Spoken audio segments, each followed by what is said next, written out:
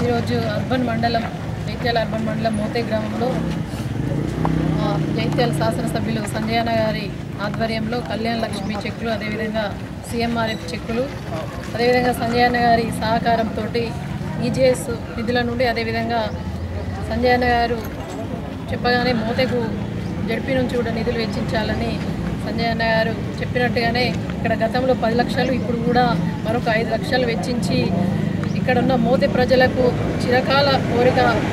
ఎప్పటి నుంచో అనుకుంటున్న రోడ్లు కూడా గతంలో గత ప్రభుత్వ ప్రభుత్వాలు చేయని విధంగా ఈరోజు మా జిల్లా పరిషత్ సభ్యులు మహేష్ గారి ఆధ్వర్యంలో ఈరోజు ఒక పది లక్షల రోడ్డు శ్మశాన వాటిగా అదేవిధంగా మిగతా అభివృద్ధి కార్యక్రమాలను కూడా చేసుకోవడం చాలా సంతోషకరం. ఈ యొక్క కార్యక్రమంలో పాల్గొన్నటువంటి గ్రామ సర్పంచ్ స్వప్న రాజేశ్వరరెడ్డి గారికి ఎంపీటీసీ శేఖర్ రెడ్డి గారికి. అదేవిధంగా ముఖ్యంగా కళ్యాణ లక్ష్మి చెక్కులను ప్రతి పేదింటికి అందించాలనే ఒక లక్ష్యం ముఖ్యమంత్రి గారిది. తెలంగాణ రాకముందే పేదింటికి పేదవాళ్ళకి ఏ విధంగా మనం ఏ విధంగా సాయం చేయగలమని అప్పుడే ఒక ప్రణాళిక రచించిన గొప్ప నాయకులు మన ముఖ్యమంత్రి కల్వకుంట్ల చంద్రశేఖరరావు గారు. ఆ విధంగా వారి మార్గదర్శకాల్లో ఈరోజు మా సంజయ్ అన్న కళ్యాణ లక్ష్మి సీఎంఆర్ఎఫ్ చెక్కులు తీసుకురావడమే కాకుండా ప్రతి ఇంటింటికి నేరుగా వెళ్ళి వారి బాగోగులను తెలుసుకుంటూ వారి ఇంట్లో ఒక ఒక ఒక అండగా నిలుస్తూ ఈరోజు చెక్కులను అందించడం అనేది అది మామూలు విషయం కాదు. అంత మంచి శాసనసభ్యులు కూడా మన జైత్యాలకు ఉండడం చాలా అదృష్టంగా భావించాలి. ఇటువంటి నాయకులు ఇటువంటి ప్రభుత్వం ఉండాలంటే ప్రజలు కూడా ఎల్లవేళలా టీఆర్ఎస్ పార్టీకే ప్రభుత్వ ప్రభుత్వం రావాలంటే పార్టీ బాగుండాలి కాబట్టి టీఆర్ఎస్ పార్టీకి పట్టం కట్టినట్టయితే ఎప్పుడు కూడా పేదవాళ్ళ ఇంట్లలో సంతోషంగా సంతోషం ఉంటుందని చెప్పేసి నేను అనుకుంటున్నా. మీ ఇంకా కూడా సంజయ్ అన్న గారి సహకారంతో మోతే గ్రామాన్ని మా జెడ్పీ సభ్యులు అందరి సహకారంతో ఇంకా అభివృద్ధి చేసుకుందామని చెప్పేసి తెలియజేస్తూ అవకాశం ఇచ్చినందుకు ధన్యవాదాలు. జై తెలంగాణ.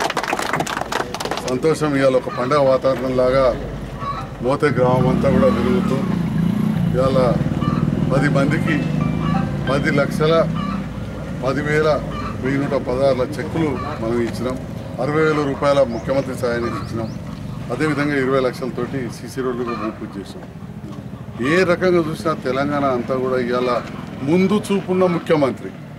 ముందు చూపున్న ముఖ్యమంత్రి నాయకత్వం నడుతుంది కాబట్టి ఇది వాళ్ళ బీద బడుగు బలైన వర్గాలు ఎంతో సంతోషంగా ఉన్నారు.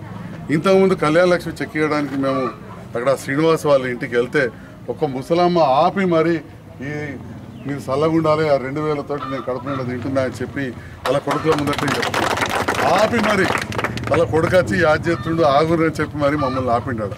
అంటే ఈ రకంగా అన్ని వర్గాల వారికి కూడా ప్రభుత్వం పనిచేస్తుంది. ఇంతకుముందే చెప్పిన విద్య పట్ల వ్యవసాయం పట్ల వైద్యం పట్ల అన్ని రకాలుగా గౌరవ ముఖ్యమంత్రి గారు ఎన్నో కార్యక్రమాలు చేస్తుంది ఈ ప్రజలు ఈ నాయకులందరూ తోడ్పాటు ఉంటే తప్పకుండా ఇంకా అభివృద్ధి చేస్తాం. జగిత్యాల పూర్తిగా దగ్గర ఉన్నది. మరి జగిత్యాల ఎట్లా డెవలప్ అవుతుంది అనేది మీరు చూస్తూ ఉన్నారు రోజు రోజుకు. బ్రహ్మాండంగా పెద్ద పెద్ద దవాఖాన్లు కాలేజీలు ఇవాళ కలెక్టర్ ఆఫీస్ వచ్చింది ఎస్పీ ఆఫీస్ వచ్చింది. కలెక్టర్ ఆఫీస్ వచ్చింది అనగానే అనుకుంటారు కావచ్చు ఆ ఏముందిలే కలెక్టర్తో బంగ్లా అయిందని. కానీ ఆ బంగ్లాలో ఇవాళ మనం ఎస్టీ కాలనీ ఉన్నాం కాబట్టి చెప్తున్నా ఒక ఎస్టీ జిల్లా అధికారి ఏదైతే మీరు పనుంటే కరీంనగర్ పోదురో వాళ్ళు ఇవాళ మనకు జగిత్యాలు ఉన్నాడు. ఒక ఎస్సీ లోన్ కావాలంటే మనం కరీంనగర్ పోదురు. ఈడీ ఎస్సీ కార్పొరేషన్ ఎస్సీ అధికారి ఇక్కడ ఉన్నాడు. బీసీ వెల్ఫేర్ అంటే ఒక బీసీ హాస్టల్లో సీట్ కావాలంటే కరీంనగర్ పోడు ఉండే. ఇవాళ ఆ పరిస్థితి లేదు బీసీ వెల్ఫేర్ ఆఫీసర్. గొర్రెలు కావాలంటే బర్రెలు కావాలంటే మంచి చెడు వెటర్నరీ. జిల్లా వెటర్నరీ అధికారి పశువు ఇక్కడ. జిల్లా వ్యవసాయ అధికారి ఇక్కడ. జిల్లా కరెంట్ అధికారి ఇక్కడ. మునుపు పెద్ద పెద్ద ట్రాన్స్ఫార్మర్ కావాలంటే ఎస్సీ కరీంనగర్ పోవాలి. అవి కాదు మా కరాబర్ సాబు తెలుసు పెద్ద మనిషి దోతి కట్టుకుని అనుకున్నాడు నల్ల నీళ్ళ ఇంత బిల్లు కావాలంటే కరీంనగర్ పోవాలి. ఇవాళ ఇంటింటికి నల్ల వాళ్ళే చేసిన ప్రభుత్వం. ఎన్ని కొత్త ట్యాంకులు కట్టిందో ఇవన్నీ మనం చూస్తున్నాం. అంటే కేసీఆర్ గారు వచ్చిన తర్వాత తెలంగాణ అంతా బాగుపడ్డది. మన జగిత్యాలలో ఇవాళ కరీంనగర్లో ఉన్న ప్రతి అధికారి కూడా జగిత్యాల వచ్చేసింది అది మామూలు విషయం కాదు. ప్రతి అధికారి జగిత్యాలకు వచ్చింది ఈ రకంగా ప్రభుత్వం ఎన్నో కార్యక్రమాలు చేస్తూ ఉన్నది. ఈ కరోనా అనే ఒక మహమ్మారి వచ్చి నెత్తి మీద కూర్చొని మనకి ప్రాబ్లం అవుతుంది. మరి కరోనా ఈ సందర్భంలో మీ అందరికీ కూడా చెప్తా ఉన్నా. రెండవ డోసు కూడా వ్యాక్సిన్ వేసుకోవాలి. జగిత్యాల జిల్లా వెనుకబడి ఉన్న దురదృష్టవశాత్తు. ఇక్కడ మరి ఎన్ని తక్కువ ఉన్నాయో ఇక్కడ ఎంతమంది తక్కువ మా వ్యాక్సిన్? సెకండ్ డోస్ మరి వంద శాతం కావాలి కదా? లేట్ అయినందుకు ఇది లేట్ తప్ప ఫస్ట్ డోస్ ఎప్పుడో అయిపోయాయి. కాబట్టి మీరు కొద్ది కొద్దిగా ఎప్పుడున్నా మిగలకుండా ఏంటంటే వేయించండి. ఎందుకంటే మనం చూస్తున్నాం టీకా వేసుకున్న వాళ్ళకి రాదన్నది లేదు. తీవ్రత తగ్గుతున్నది. ఇప్పుడు ప్రాణాలు పోతలేమంటే టీకాలే కారణం కాబట్టి అందరూ కూడా దయచేసి ఇది అటిన ఒమిక్రాన్ అనుకోకూడదు నేను పేరు చెప్పగానే ఒక ప్రముఖ డాక్టర్కు మళ్ళీ పాత కరోనా కూడా వచ్చింది. డెల్టా వచ్చింది. మంచి పేరున్న డాక్టర్. ఎన్నో ఇంజక్షన్లు తీసుకోవాల్సి వచ్చింది. కాబట్టి ప్రతిది ఏదో ఒమిక్రాన్ అని అనుకోవద్దు. భయపడద్దు. తొంభై శాతం మందికి అదే ఉంది. కానీ పది శాతం మందికి డెల్టా వస్తుంది.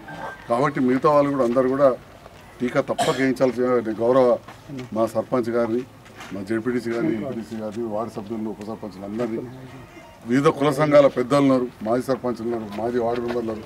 మా యూత్ ముఖ్యంగా ప్రత్యేకమైన శ్రద్ధ పెట్టాలి తండ్రి చేసి టీకాలు ఇచ్చాల్సింది థ్యాంక్ యూ